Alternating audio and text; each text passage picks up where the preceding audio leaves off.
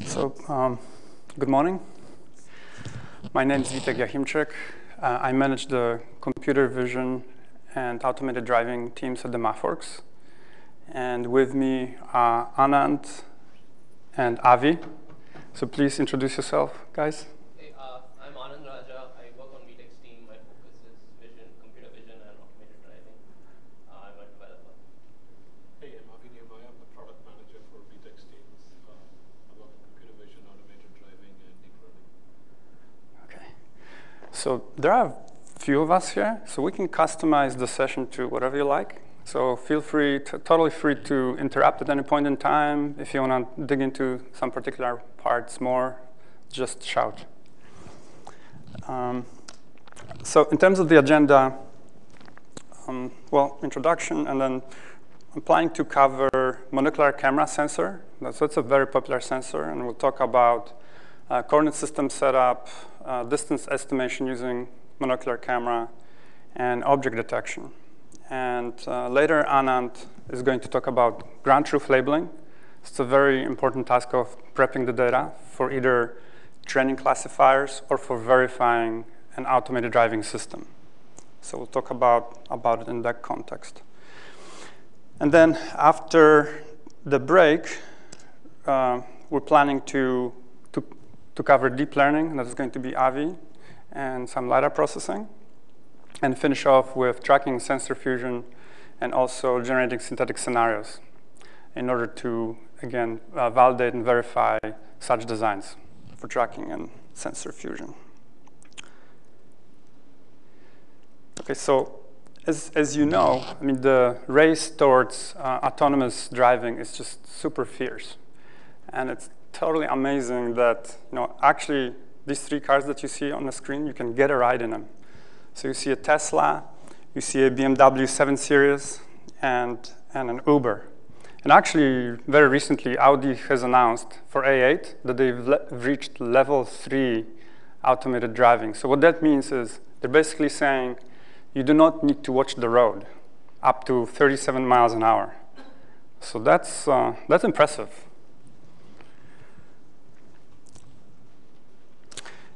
And in this session, what we're planning to cover uh, mostly is perception. And there are two reasons for it. One, the entire automated driving space, which includes um, lots of techniques, uh, localization, control, planning, and perception, is really vast. And we have limited amount of time over here. Uh, the second reason is that our tools that we've been developing have been actually concentrating at first at perception. So this is a, a beachhead for us. This is a starting point. And it's also a computer vision conference, so it's appropriate. And uh, in terms of perception, uh, we'll talk about vision algorithms. I'll reiterate, you know, deep learning, some classical techniques, uh, also uh, monocular camera system, coordinate system conversions, uh, and ground truthing, and tracking and sensor fusion.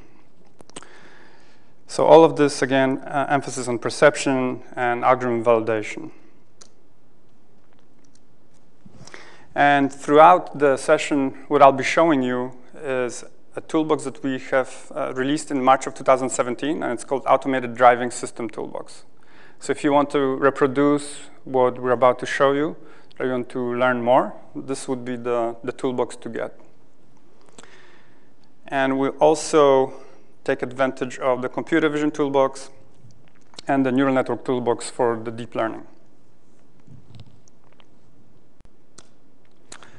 All right, so the first session, which we, I got marked up from 9 to 9.40, but we started a little earlier, uh, are mainly concentrate on the monocular camera system.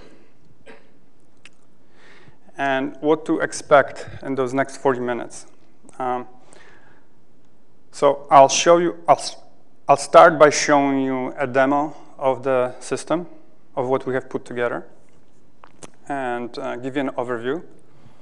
Uh, this is a pretty important sensor. That actually, you find it in most of the cars that are on the road right now. And um, it's produced by manufacturers such as Mobileye or Bosch. Then we'll talk about coordinate systems, mainly transformations between the vehicle coordinate system, which is which would be expressed in world units, you know, meters, and uh, and the image coordinate system.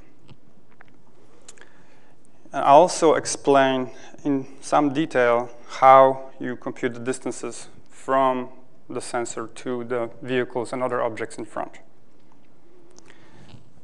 And then we'll cover object detectors, and actually Anand's going, Anand and Avi are going to talk even more about those aspects of uh, automated driving. All right, so before, before I, I get into the demo, let me explain briefly, you know, why we've set it up the way we did. So um, in a typical system, what you'll have is a regular camera that basically gathers the video. That data is sent to a small unit that processes that video. And afterwards, um, the found objects, the, the found lane markers, and other information about the process video gets sent on what's called a CAN bus in a car. And a CAN bus is basically a serial network, so um, it, um, the data on it has to be, be fairly sparse. You cannot just send video around. And the, the typical data that's sent out of unit like this is an object list. So, okay, you know, vehicle, pedestrian, description of those objects, and also uh, things like lane markers. So where are they, what distance from the vehicle, how, uh, and, and their description. So in the demo, basically, what we'll do is swap that module, say, from um, someone like Mobileye with the processing that we do in MATLAB. So that's the idea. And, and, the, and the demo is going to mimic this type of a setup. So let me actually get to the command prompt and show you the demo in action. You're already seeing some video over here. And also, if there are any questions so far, just please shout.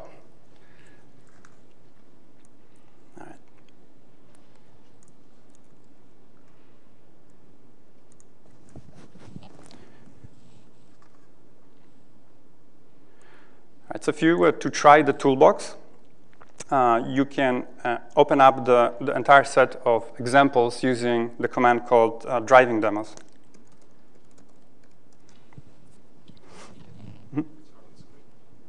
Oh, sorry.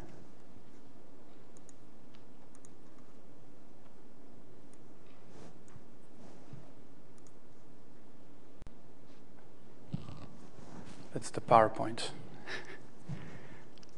taking over the screen. Okay, so uh, as I mentioned uh, just a second ago, uh, you invoke the demos by basically typing driving demos.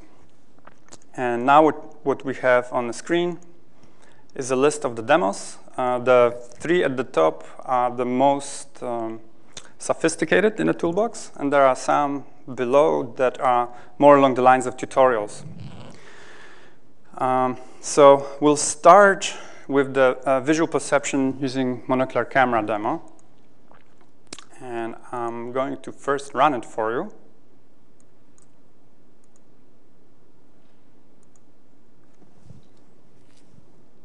There'll be a few displays up front that flash by. They make sense when you read the demo text with explanations. Uh, but let's concentrate on this video. So basically, there are a few things happening over here. On your right, what you see is a bird's eye projection of the video to the left.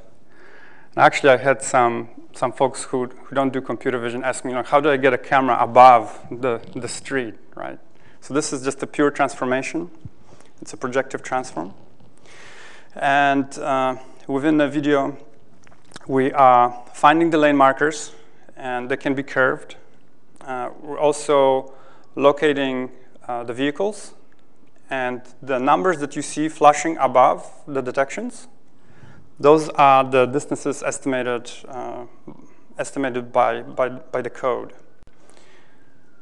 And let's give it a second. When it stops, you see uh, there's a there's an x value and there's a y value above. The x is uh, in meters to the front of the vehicle, and the y points to the left of the vehicle. And all of this is done using monocular camera. Okay, so here you go. See. All right, let's take a look at, uh, at the code. And then uh, I'll give you a more thorough explanation of what's going underneath the covers. So with the code, we'll, we'll just do a quick uh, overview and outline of what's inside the demo. And then we drill into specifics uh, uh later on. So the first section basically deals with setting up the, the camera parameters. Uh, so we're providing uh, two things, the camera intrinsic, so the camera setup, and later the camera extrinsic, so how the camera is positioned with respect to the road. And these two items are absolutely necessary for pretty much doing everything else afterwards. And they impact, um, they impact the lane marker detection, the distance estimates, as well as the actual object detectors, surprisingly. Uh, so you see the camera intrinsics over here getting set up. And then by specifying the height of the camera from the ground, and how, how high is it mounted, and its pitch, we essentially uh, set up the extrinsics. Uh, once this is configured through this object called monoCamera, we're able to do things like um, distance estimates. And uh, the demo, uh, its structure is such that we first grab one video frame and basically walk you through the steps of how to process it. And then we put it all together into um, a for loop and process the entire video. So you see the frame getting red. uh, we also defined a, a bird's eye projection uh, with uh, basically describing the area that we, that we want to view in front of the vehicle, that we want to transform. Uh, with one line, we can actually transform the image and show it, afterwards show it I'm ImShow. Next, and next stage, uh, we go through segmentation and later detection. And this is actually done in bird's eye view. So the, the purpose of going to the bird's eye view is to essentially mm, take out the projective transform. So the lane markers are the same width all along the image. And that just makes the whole process of segmenting and then uh, finding the, the curvature easier.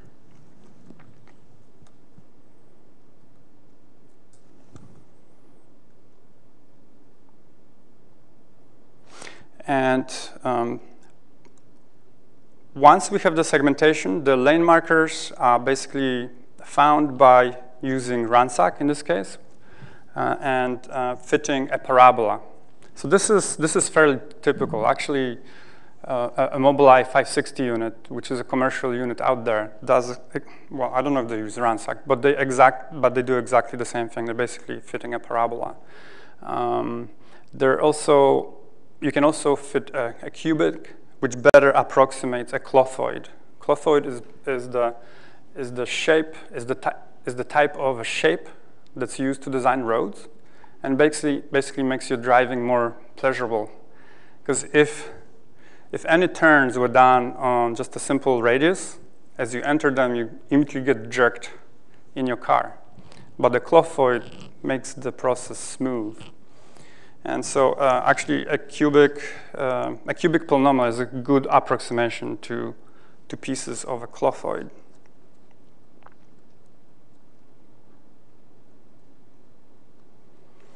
Uh, later in later we also um, classify classify the, the lane types. So we're trying to figure out whether there are dashed, solid, or double and this is all mostly done through some heuristics and processing of the data that we have gathered. And uh, in, in the case of this demo, we used a, a vehicle detector based on ACF, so aggregate channel features. So this is what you had seen. But we also have another one uh, based on RCNN, uh, so a deep learning technique. But on this laptop, I don't have a powerful enough GPU, so I'm not showing you that.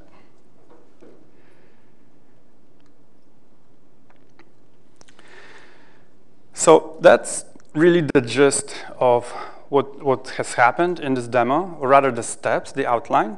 And um, later on, we show it in the loop. And finally, uh, another video is processed. And this time, all the processing is packaged into a single function.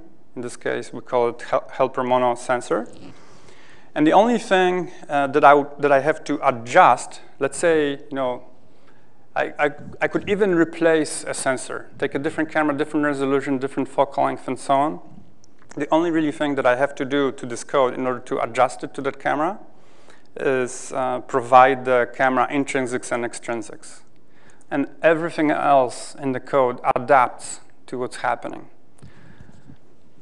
And I'll explain uh, more of that later as we, as we go through, through the sections of the presentation. Um, any questions so far? Yeah. So in your demo, uh, how can you exclude the lane markings on the other side of the road? Yes. So in fact, what we do here is only find the ego, ego lane lane markers. Um, so when we do the segmentation and, and the curve fitting, we, we start by picking out all of them and afterwards only concentrate on the two that are next to the vehicle because that, that does a couple of things. Uh, well, a few things. One is if you wanted to steer the car, you could use that information. Um, second, you, know, you can do things like uh, issue lane departure warnings. Um, and third, you need to know what's in your lane. So basically, if you have a car in front and maybe it's on a curve, you know, it doesn't look like you're going to hit it, but because the lane markers lead towards it, you can then figure out that you're on a collision course. So, yeah. And, and the, the code uh, can be, it is structured in such a way it's like Lego blocks. You can, you can massage it to, to either pick out all the lane markers or subset.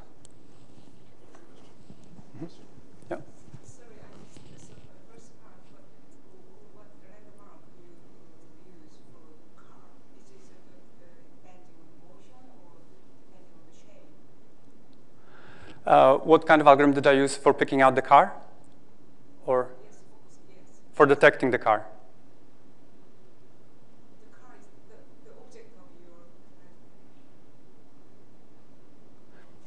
the, the object. That gets tracked? Well, um, in this case, we're talking about detecting lane markers, um, but I also, I also did mention a vehicle before. So um, let me if you missed the, the part where I showed the actual output, then let me play it for you again. Uh, and then maybe I can hear your question one more time. Uh, one sec, sorry.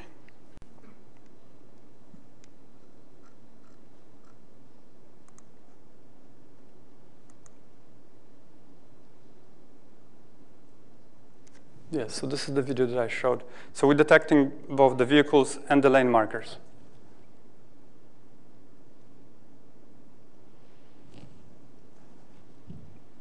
Can you repeat the question, please? Yes.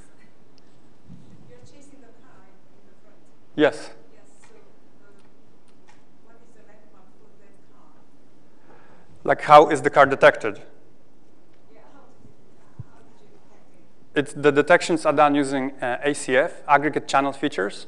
It's a technique. It's a classification technique developed by, by Piotr Dollár.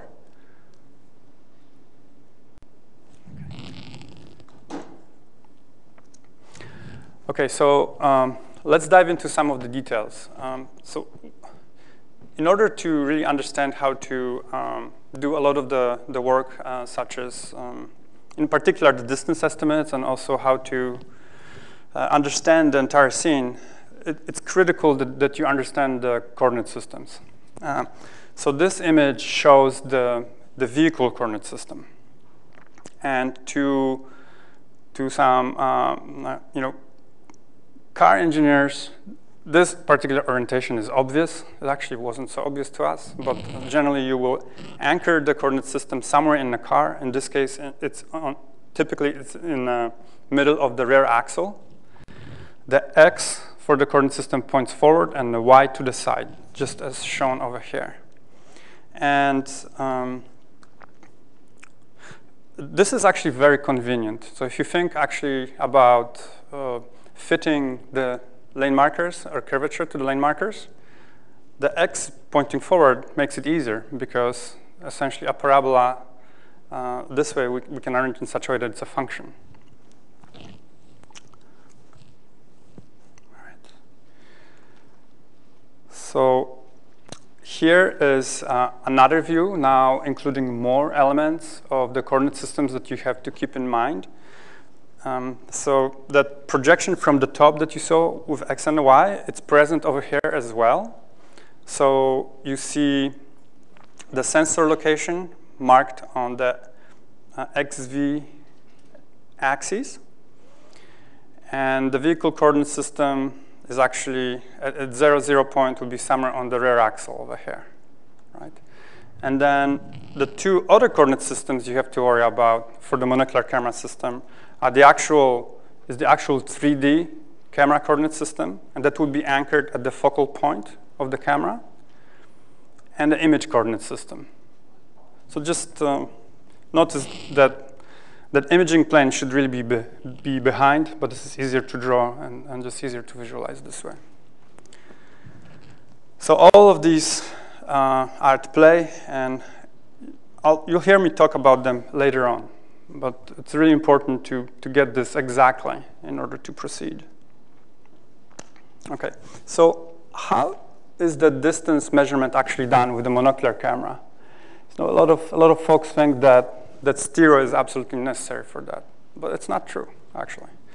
Uh, there are some limitations with monocular camera, but um, it can be done quite effectively. Uh, so if you look at that image of the vehicle going on the road, and so, so let's get some intuition first. And you think that you know, it moved further away, that rear bumper, it actually is going to move up in pixels. Right? So clearly it indicates that you know, I can somehow get a measure of the distance from my sensor to that vehicle. And the simplest case is described here to the right. Um, so the, the blue object here, let's say, would be, you don't actually see the mouse. Okay. So the blue object over there uh, would be the lens, and behind it, the, say, the CCD. And think about the single ray going straight through the center of the lens. Uh, since I know the height at which the camera was mounted, and I also know the pitch because I set it up, I can actually compute the distance and uh, basic trigonometry. So pretty straightforward. Um, now, that distance, that distance uh, has to be measured along the flat surface. So that's one assumption that is made with the monocular camera. So if you had a road that pitches up and you detect the vehicle above and you use this computation, you're going to get some error. But generally for the, for the shorter distances, it can be pretty accurate. Now, so that, that's for just one beam. And of course, it gets a little bit more complicated when the camera can be mounted in all sorts of positions. But how is it really done? Um, the key thing is that you must to obtain the intrinsics. And intrinsics basically so focal length, uh, what's the that the lens introduces, what's the size of the, those would be considered intrinsics. And, and we also established the vehicle knowing the extrinsics. And that, and the camera position, roughly the camera position with respect to, um, to where you want your zero, zero case on the ground.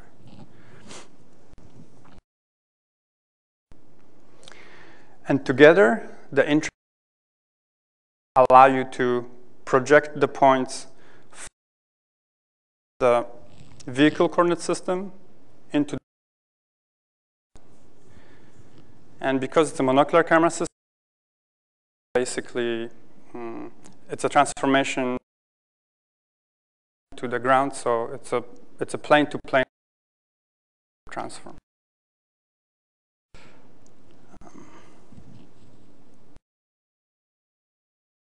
Thing I forgot to mention that's pretty important is um, you know if as I mentioned I already mentioned this so the, the distance estimates are along along the ground surface and um, if you want the distance and the location of any point in 3D space, obviously this cannot be done. Because if I try to pick some point somewhere on the uh, diagonal, of, on the diagonal, you know, I wouldn't know what the distance is from, from, from that point to the camera. So I cannot do the computation. So for that, you need stereo.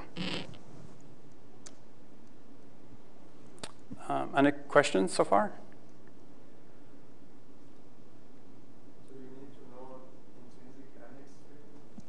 Exactly. So those are the two key things. And I'll also, I also show how to put them together in order to start doing the transformations. Yeah, so the intrinsics, uh, they, they consist of um, a few items, like focal length, um, the camera center, um, and a few other parameters. But when they're put together into into a, a, a 3D, pro, I mean, a 3 by 3 projection matrix. Uh, they can be used to basically project uh, data from the camera's 3D coordinate system onto the imaging plane. And the way to get the intrinsics is through the calibration process. So typically, you would um, set up um, some sort of fixture and either hold the camera steady and move the uh, calibration pattern in front of it or vice versa, and um, show some known pattern to the camera in order to, to obtain uh, these values. And actually, as part of the computer vision toolbox, we have, uh, we have a very good tool for that. Makes the whole process very easy. And this is just a screenshot of that tool.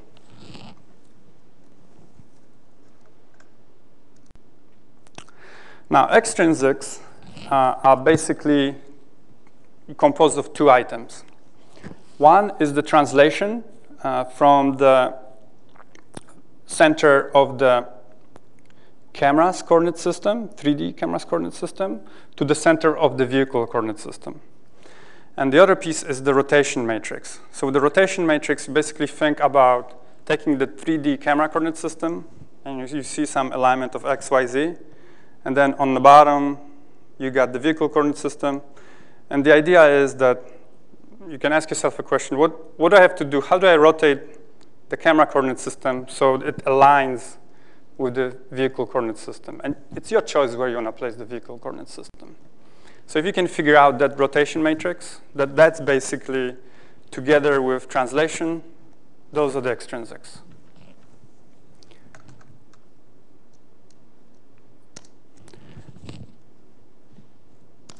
And um, but we actually, when we set up the extrinsics in the software, we actually don't ask for the R and T because that can get really confusing. It's easy to make a mistake in the computation, even though it's not, you know, it's not rocket science, but still you can make mistakes easily.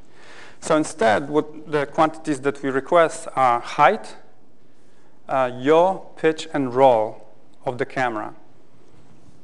And that's from that the yaw pitch and roll is from, from the camera just facing straight forward horizontally, right? So if there's some pitch, you know, say 15 degrees, it, the camera would be basically having an angle of 15 degrees between its uh, optical axis and the horizontal line. Make sense so far? And these quantities, you know, they're, they're much easier to specify. You can actually measure them. Um, that's not a bad way to get them. Even if you say in height, if you make a mistake of one or two millimeters, it probably is not going to make any difference. Because if your tires deflate by that much, you know, you, you're going to have those type of errors present in the system anyway. So from these, we can derive R and T. And um, I'm not actually going to go through that because uh, it's a little messy. Um, but if you were to grab the toolbox, um, you can, that, that last bullet, um, all of the code uh, is actually packaged in the monoCamera object inside the toolbox. So you can actually edit it and see what the transformations are. A couple of tips um, if you were to figure it out yourself. The extrinsics are specified in camera's coordinate system. That's really important to keep in mind. And also, know your 3D rotations. Uh, so uh, if you're trying to figure out how to rotate those coordinate systems, I would suggest you go one do rotation by one axis at a time and then combine them. It's just much easier to, to conceptualize that. Um, and it's the case of, uh, if you ever heard that um, skit uh, in Saturday Night Live, uh, Hans and Franz, you know, they say, listen to me now and hear me later. Uh, so um, you know, if you keep this in mind and trying to derive it later on, hopefully uh, th that tip will come in handy. Okay, so now that we have the intrinsics and extrinsics, how do we make use of them? Um, so the way, the, the way we can make use of them is basically formulate a projection matrix. Um, so here, the R and T are put together as such. And that essentially formulates a, a matrix in homogeneous coordinate system. That's all there is to it and then um, it is uh, multiplied by, by k, which are the intrinsics. So let me go back. So what does this mean? It's actually pretty straightforward to look at it in a picture. What that means is basically that we have um, two transformations in a row. So the first transformation will take points that are in the vehicle coordinate system, project and actually um, express them in the camera's coordinate system, and the intrinsics project those points onto the imaging plane. So those are your two steps, essentially.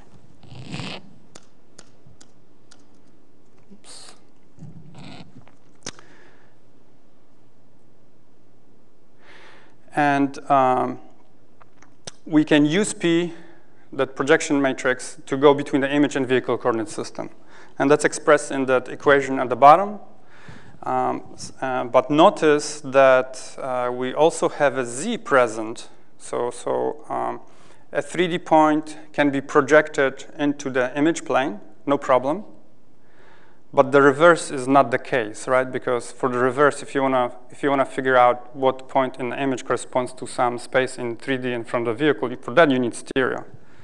So in this case, in order to make the matrix invertible, we basically drop the z um, uh, from the column, from the corresponding column in P, and we take out the, the, the big Z um, coordinate.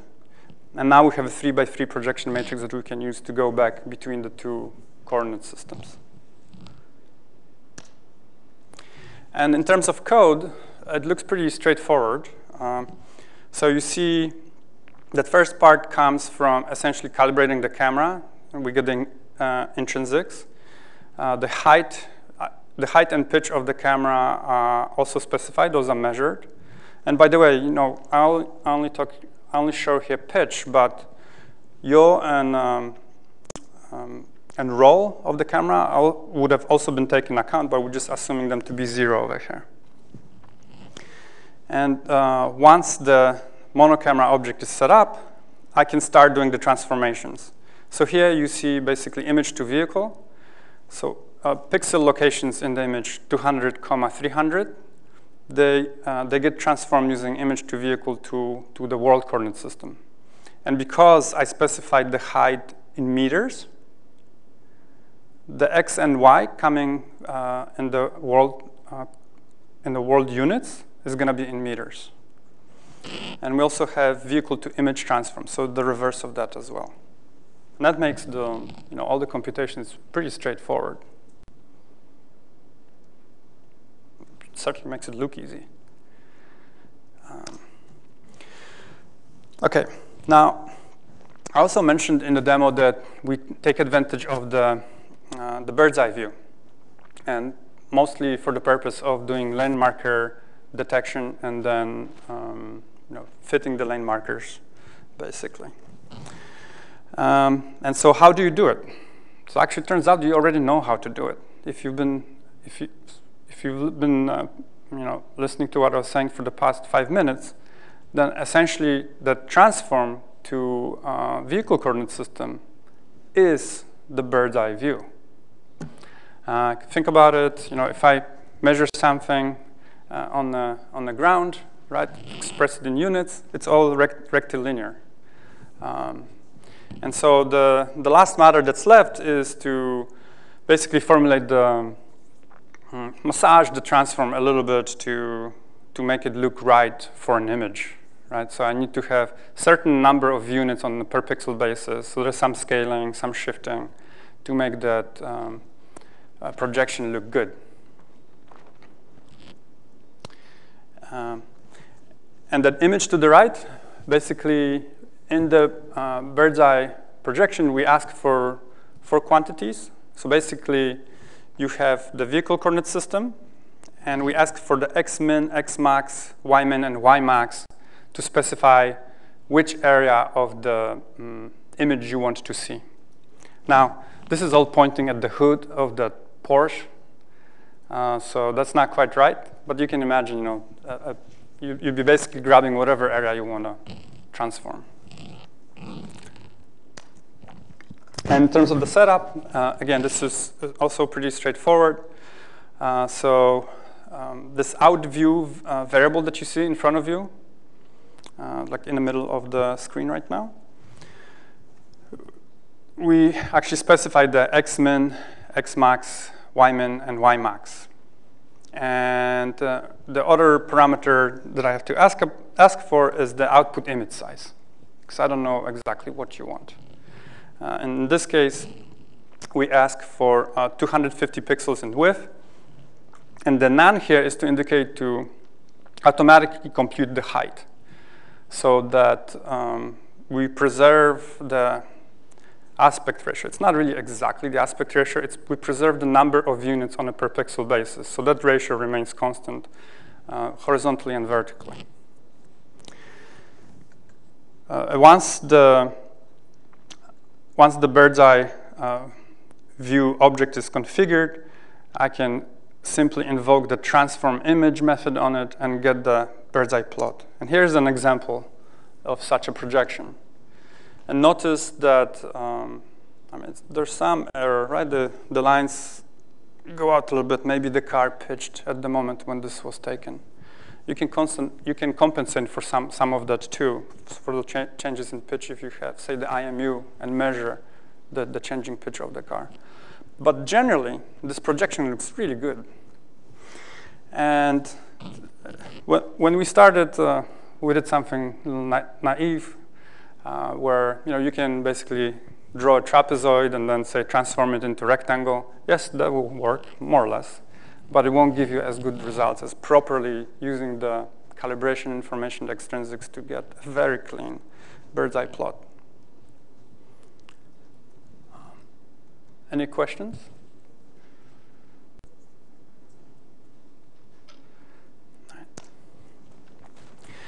And um, because we use the bird's eye plot uh, or, or bird's eye transformation for lane marker detection, let me mention a little bit about the about the uh, lane markers. Um, you know, we use a parabolic lane boundary model uh, to fit the, the curves uh, into the segmented data using RANSAC. And uh, we have uh, a class that stores the information about the lane markers. It also allows you to do projections between the vehicle coordinate system and the image coordinate system. So that comes in very handy. And there are a few functions below that I've listed, mostly for your reference, if you wanted to, uh, to play around with this functionality. Um, and it turns out that this um, camera setup and the, the uh, which we stored in a monocular camera, you know, intrinsic, extrinsic, and so on, they can also have impact on the actual detections. or you can take advantage of this information, I should say. So um, we have a function that basically uh, takes three inputs. So the first input over here is a detector that's been trained um, either using ACF, aggregate channel features, or, or a deep learning network. So it's a regular detector that's going to scan the entire image. Uh, sensor corresponds to the, to the monoCamera object. So that's the camera setup.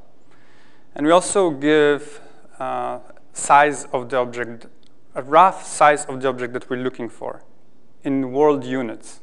So um, in case of a vehicle, you know, it'd be, know, two and a half meters wide know, one and a half meters tall, right? And with this information, there, are are few things you can do. Uh, so one is because I have all the camera information, I can figure out where the horizon lies. So I can stop scanning the sky, right? And uh, the second thing that I can do is because I have the approximate uh, size of the object, then um, rather than scan the entire scale space in front, I roughly know the sizes of objects that, that I would have in front of the camera, depending on the distance. So that problem is also reduced. So that so I get fewer false alarms because I'm not looking at stuff I shouldn't be looking at, like sky. And I do less work because I roughly know what the scale space will be.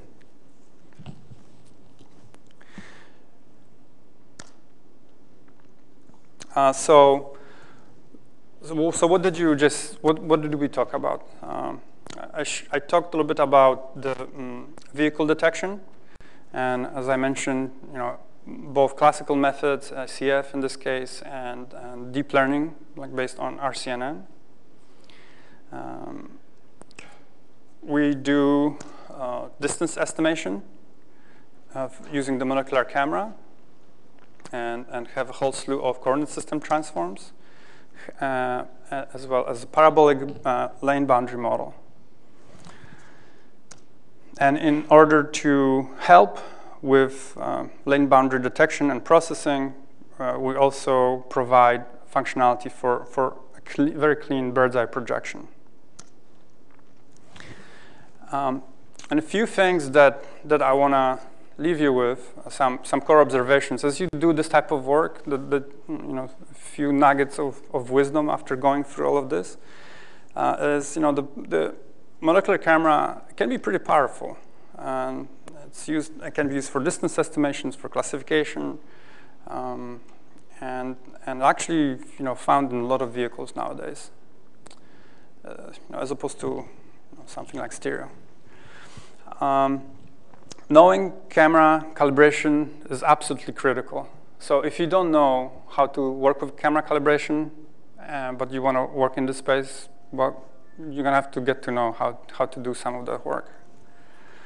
Um, and also, uh, and this, this is very important, working with the calibrated camera at every stage um, makes the entire workflow much easier and adaptable uh, to new sensors and, and, to, to new configurations.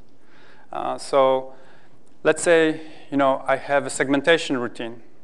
And if I parameterize it by number of pixels, like let's say some sort of thresholds that involve number of pixels, if I change the sensor, I'm going to have to go and retweak all those numbers. But if I use the camera calibration configuration, I don't, because I can transform whatever I have specified, in this case, in, in a world unit, say uh, millimeters, I can transform it to number of pixels. So by parameterizing everything on world units, the entire process is just much cleaner. Uh, so we actually had a customer that um, has taken um, uh, some of our, uh, has actually tried this monocular camera system in the vehicle, and all they had to do is provide the intrinsic and extrinsics. And right from the get-go, they're able to get uh, pretty decent uh, you know, lane marker detections. Um, all right, so um, that concludes the, the first section, and now I'm going to, uh, Well, actually, if there are any questions first.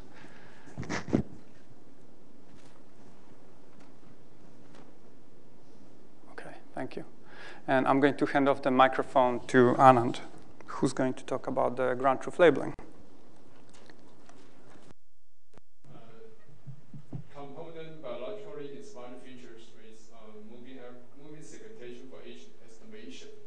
And uh, it's a collaboration work between uh, Taiwan Tech and uh, Manchester Metropolitan University. And my talk um, uh, is composed of uh, three main parts. Um, first of all, I would like to uh, share with you about the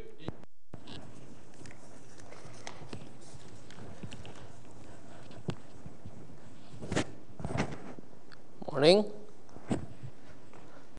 Um, for those of you who missed, who missed the introduction, I'm Anand. I work on Witek's team. My focus is on automated driving and computer vision. Um, and I'm going to spend the next 30 or so minutes talking about um, ground truth labeling. Um, this is kind of what to expect over the next 30 minutes. Um, we'll start with the motivation for why ground truth labeling is even important topic to discuss in the ADAS uh, automated driving context. Um, then uh, once we get through that, I'll give you a demo of the ground truth labeling interface that's available in MATLAB.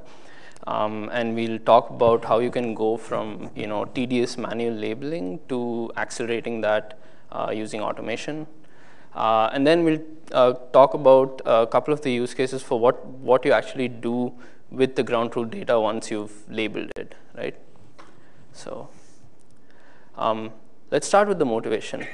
Uh, why is ground truth labeling even important, right? Uh, so uh, an ADAS system is made of um, lots of different modules that uh, may be inter-reliant. So um, you have systems that are dependent on each other. Uh, and it's, a, it's for a safety critical application. And so you need golden data in order to be able to verify that your system is doing what it needs to. Um, the example here is of a lane uh, detection system. Um, so for example, uh, a lane detect, the performance of your lane detections um, can have a bearing on uh, parts of the ADAS pipeline that come don't have accurate enough lane detections uh, that might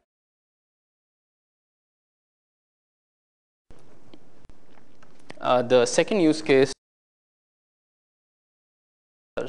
uh, most of the perception pipe based rely on classification algorithms or deep learning based algorithms and all of the training data being available uh, and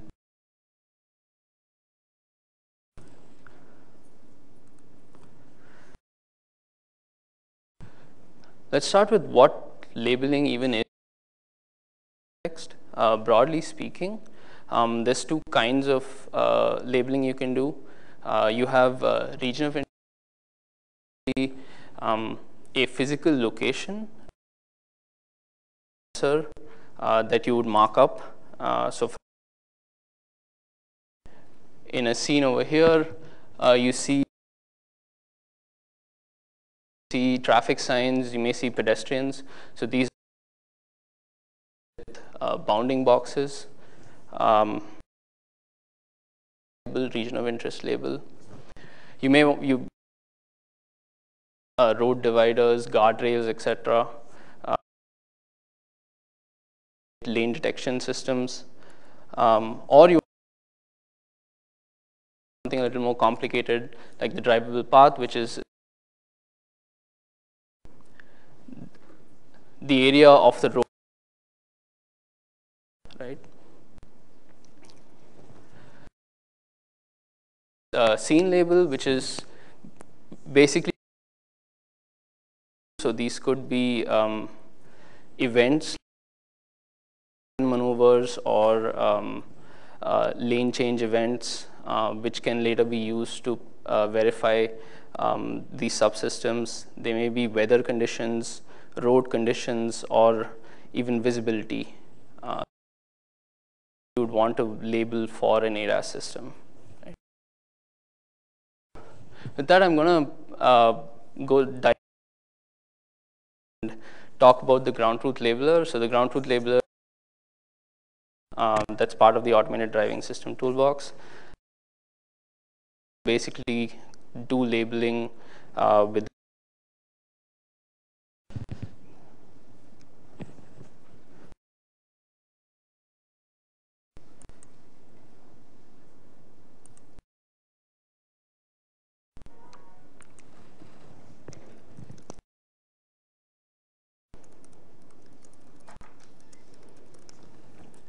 you can launch the ground truth labeler using this command or from the apps tab over here.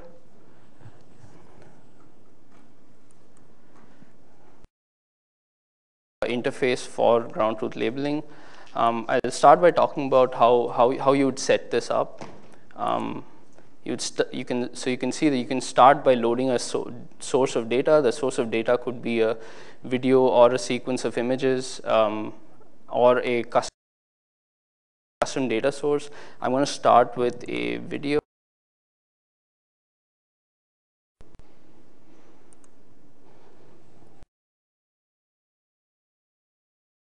Here that um, the video has been loaded. Uh, so you can start by typically when you when you'd start labeling this, you would go through a um, and you can see that there's to um, navigate through these. Uh, set up what you want to label. Um, you need to define what are all the kind of labels that you want in your uh, as part of your labeling, and so uh, you let's say we want to mark up vehicles and so, so, so when you're setting this problem up, um, it's important to know that you, because you may have uh, a number of people doing the labeling, you want a consistent format and uh, you want the definition of the labels to be consistent across uh, everyone that's doing the labeling. And so in addition to, to just specifying what the label is, um, you can specify a description which would typically be used to uh, provide instructions for what um, what kind of objects to be labeled. So here you can say something like uh, include include sedans, trucks, etc. Um, you can specify what kind, you know, whether you want to include occluded objects or not. And so, so as we set this up, let's say. Um,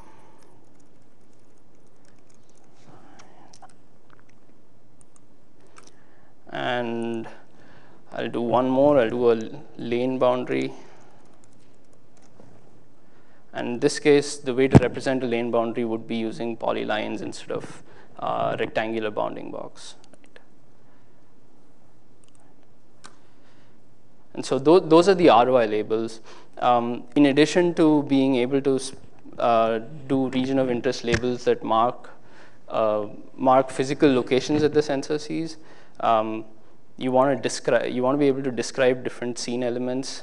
Um, so for example, let's say weather conditions,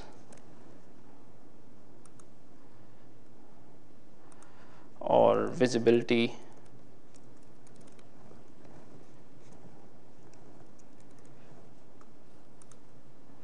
And you typically have a long list over here.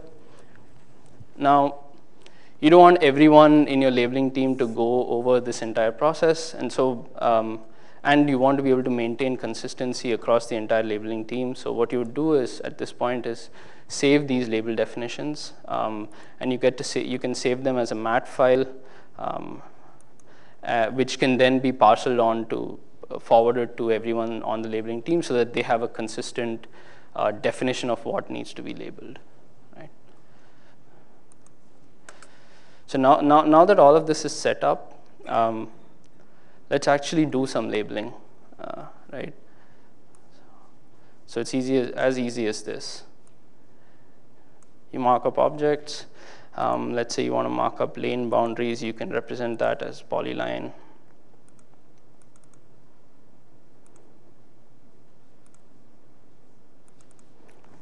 And if you have curves in the road, you can, you can increase the frequency of the points that you're marking so that you get more detailed representations. Now, clearly, this is a very tedious process. I mean, I, I just have 25 seconds of video here, and labeling um, a long list of these objects is extremely tedious. Um, and so you don't want to be doing this manually, right? You want any automation that you can leverage. So, which is why um, if you look at the algorithm tab over here, I think it's called automate labeling. Yep. Uh, you can leverage this in order to speed up your labeling process.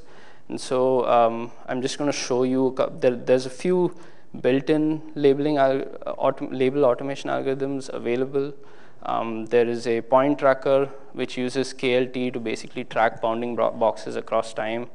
Uh, there is an interpolator that works on uh, linear interpolation between points that you mark up. And then there's some uh, vehicle and pedestrian detectors that you can leverage, right? So I'll just show you um, the point tracker. Um, I'm going to limit this to a few seconds. Let's say, let's say this is the vehicle that I want to track. It's as simple as hitting run when I here, and you'll see the this vehicle getting tracked throughout, right? And so what I've done here is immediately gotten about four, five seconds worth of work. So five seconds times, let's say you're going at 30 frames a second, that's a sizable speed up in your labeling right there.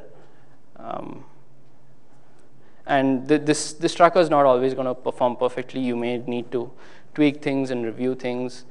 Um, and so, but once you're done with that and you accept it,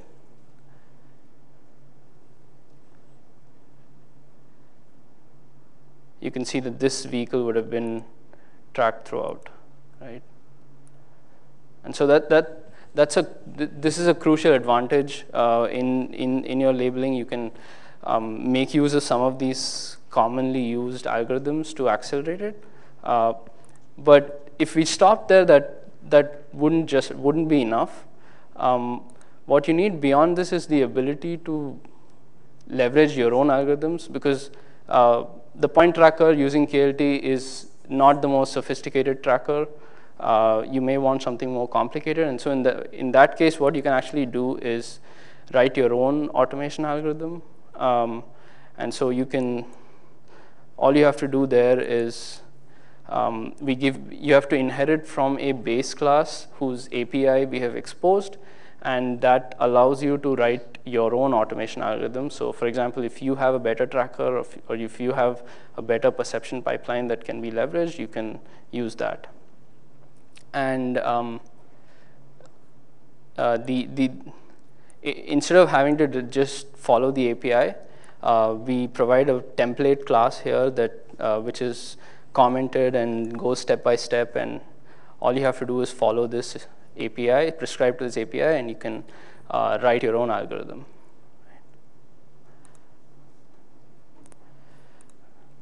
And so uh, imagine that you, you know, once you've done this labeling, um, these labels can then be exported. Uh, they can be exported into a MAT file in the form of a, a saved MAT file or to the workspace. I, will show you that to talk about a couple of aspects of the uh, data structure that we use here.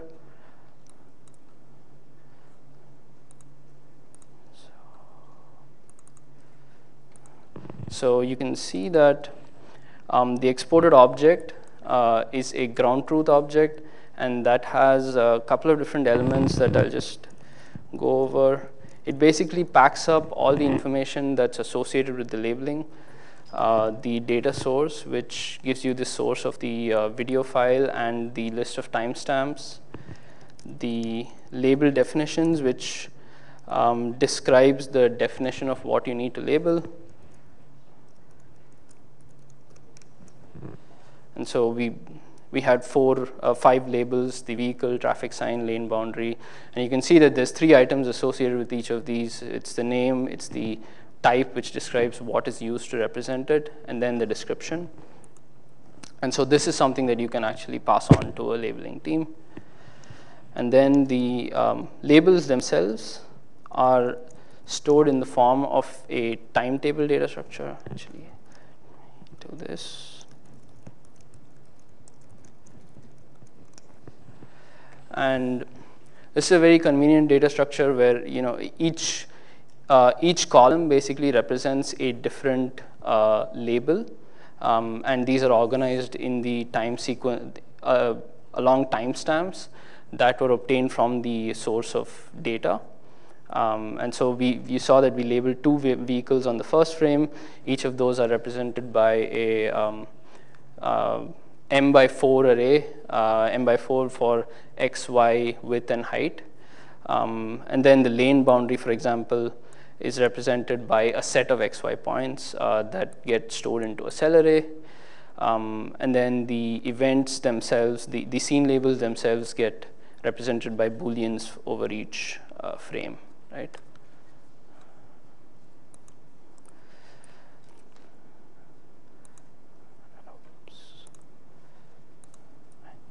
So the, the other, another crucial aspect of this is being able to verify your labeling. Um, when you're labeling really long sequences of videos or data, um, it's very easy to miss a small thing out. Uh, and so there is a label summary provided, which is a visual depiction of basically a histogram overall over the entire video. Uh, it's an easy way to tell whether you've missed something, missed something in your labeling. So you can see um. See, this is a better size. you can actually drag this along um, as you move as you move between frames and hold on just a second That's, there you go oops there you go so as we move between frames in the video you can actually see that um, the, all these frames have just one uh, vehicle marked up, where, whereas the first few frames have two, which is where we did the tracking. Right?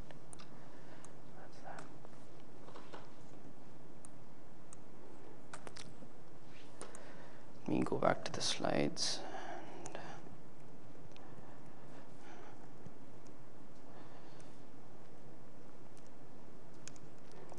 So the um, I already talked about a couple of uh, customizations in the app. Uh, we spoke about how you can um, load data from uh, custom data sources. Um, let me just talk about that a little bit more. Uh, there you go. So um, I showed you how you can load data from a video, um, uh, but typically typically a company would ha can have uh, data actually stored in a database or in popular recording formats like a ROSBAG. Um, there are lots of these formats out there, and so uh, instead of restricting you to having to use um, a video or a sequence of images, um, you can actually just provide a function handle um, so that you can load data from a custom source of custom source. Uh,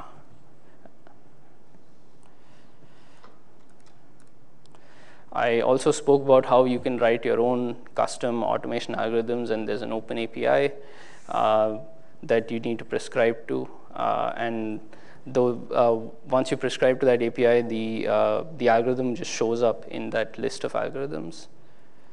And the, the third customization is um, uh, that you can attach a custom visualization tool to this app. Um, so a typical workflow while you're labeling is that just having one sensor is not enough. And so in addition to being able to see the video, uh, you may want to see a different sensor source or a different visualization to help you labeling.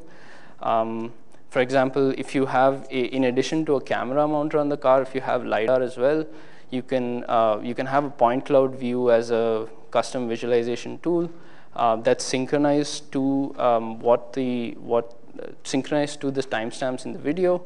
And what then happens is that you can use the LiDAR also to help you make me distance measurements or um, other attributes like that.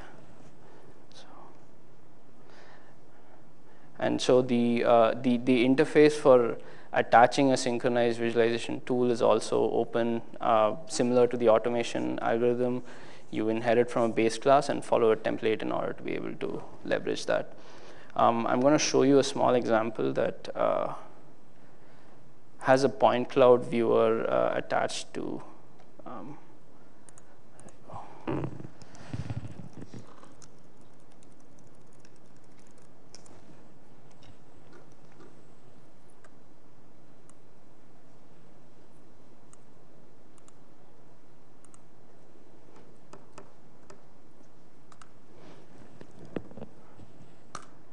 Right. So, just, oops, hold on.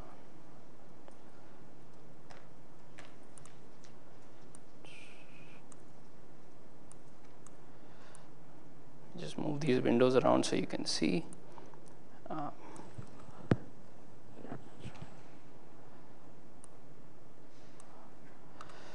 So you, what you have here is a video time and li LiDAR signal, both of which are time synchronized. And um, we've attached the uh, point cloud player to this, uh, to the ground truth labeler using that API. And what that means is when I play the video here, the point cloud viewer also, um, frames in the point cloud viewer also update, and I can go the other way as well. So as I move frames here, the video gets updated.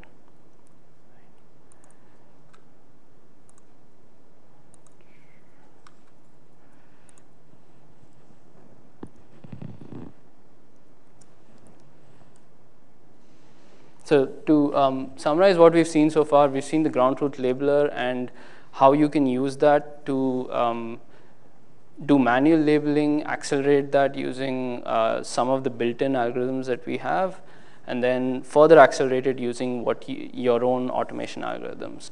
Now, um, let, us talk about a couple of the use cases for what you can do with the uh, do once you have your uh, ground truth data. Let's start with uh, system level verification and talk um, uh, evaluating lane detection. This is the basic setup. You have a recorded sensor, some video repository. Um, let's say you use the ground truth labeler and you marked up ground truth data and all of that is stored in the form. Um, and now we the lane, a lane detection algorithm uh,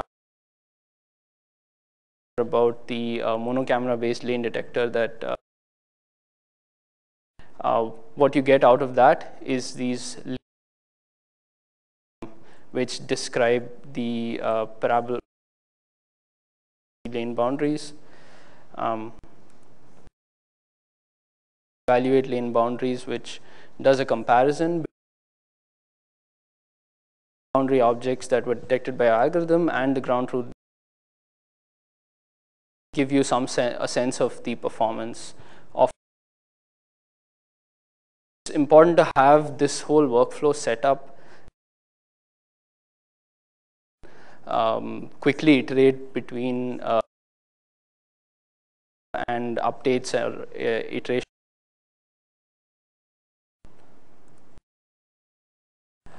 The other thing you can do is actually and use the connector, the visualization tool API to actually measure um, uh, point, uh, pinpoint failures occurring in your algorithms.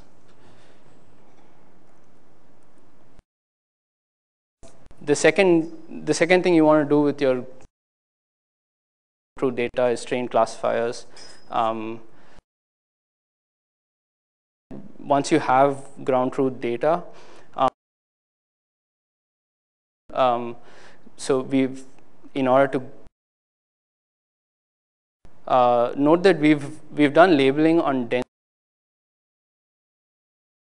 What happens is you're seeing the same object for a number,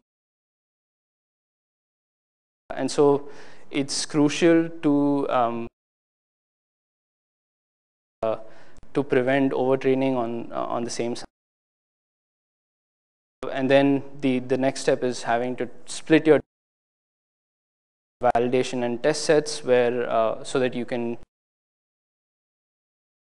to just train your algorithm, uh, verify up on the validation set, and then uh, there's a few uh, a couple of functions that uh, allow you to do this um, that you can look at. And then, of course, uh, there are a number of uh, techniques with training frameworks object detectors like um, the AC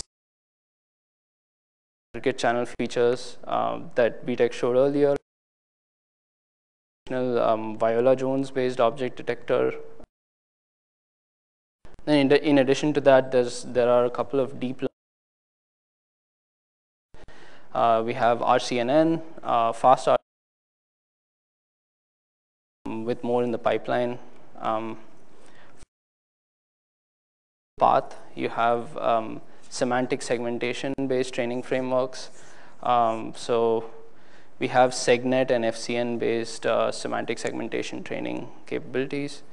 Uh, and then if you want to do scene uh, or image classification rather than object detection, uh, there's a bag of, uh, bag of features based uh, classifier as well. So um, let me just summarize a couple of the couple of things that we've learned with our work in. Um, it's very so aspects of uh, uh, ADAS. A lot of companies have uh, 100, 200 percent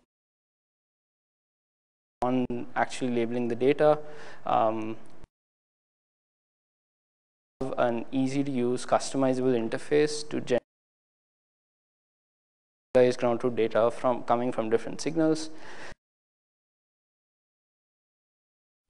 The customizability needs to allow you to be able to parts, aspects of labeling, um, to help you um, make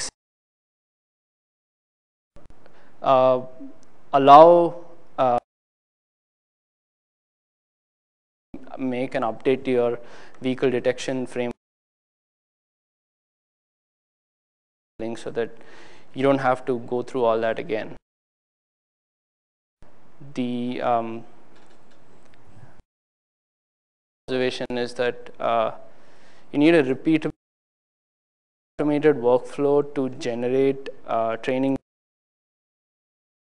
Um, once you have all this set up, you can focus on uh, aspects of uh, other aspects of the workflow. Um, if you have any questions right now.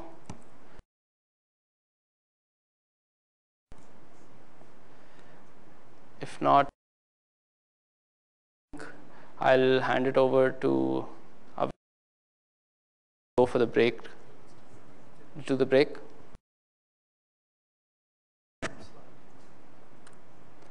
Um, after the break, we'll talk about uh, deep learning and LiDAR, and um, I think convene at 10.30.